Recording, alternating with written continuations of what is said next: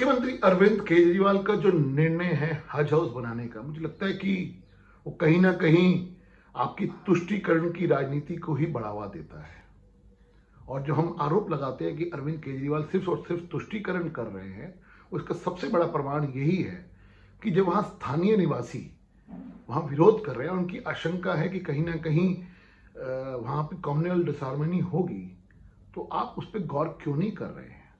जब जामिया नगर हो, ओखला हो, तमाम ऐसी जगह है जहाँ मुस्लिम डोमिनेटेड एरिया है। वहाँ आप हज हाउस बनाना चाहे बनाइए लेकिन मुझे लगता नहीं कि हज हाउस की दिल्ली के अंदर ज़रूरत क्या है, मुझे मेरी समझ से परे है।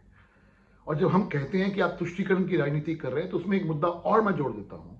आपने हज हाउस बनाने का डिसीज़न लिया, एक वर्ग को खुश करने का डिसीज़न लिया।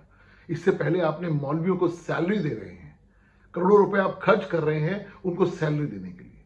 लेकिन जब हम भारतीय जनता पार्टी डिमांड करती है कि दिल्ली के अंदर जो मंदिरों के जो पुजारी हैं, उनको भी सैलरी मिलनी चाहिए। तो आपने उसके ऊपर कोई डिसीज़न नहीं लिया।